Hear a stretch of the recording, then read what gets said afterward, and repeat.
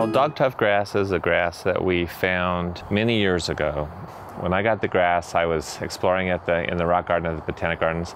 I saw this tufty little grass. I thought, wow, that's really neat. So I started propagating it. 12 years ago, I got serious about testing it as a turf grass. And at that time, our, our, entire yard was Kentucky bluegrass and tall fescue. So we started taking that out and replacing it with this African dogtooth grass.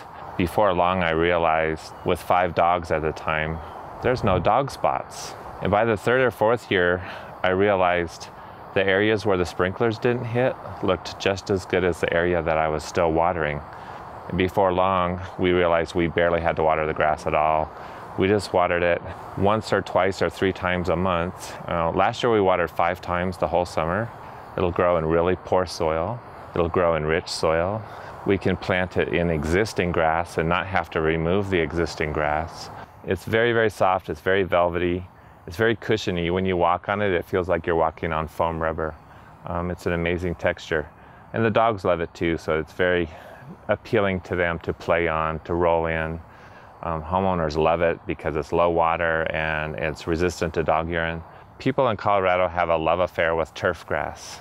But if they can have a beautiful green grass and utilize a fraction of the water, I think it's going to make a big difference.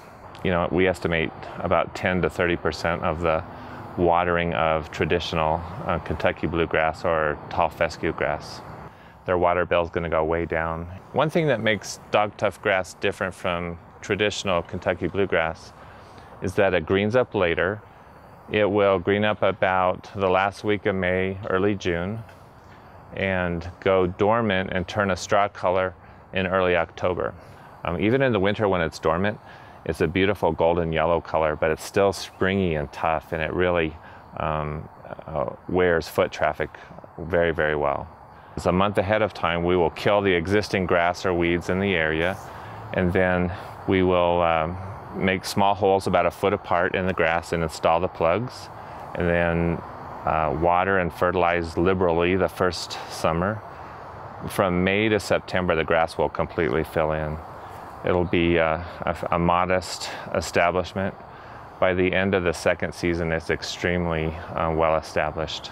If you don't want to mow the Dog Tuff grass, it only gets about three to four inches high, and it makes a very nice um, uh, kind of a natural looking turf, which is sort of mounding and gentle and undulating. Uh, but if you want that really trim, even look like a conventional lawn, then you're going to want to mow it about once a week in July and August. If you want to investigate um, growing Dog Tuff grass, um, go to uh, plantselect.org. You'll easily uh, be able to find a retailer who sells the product.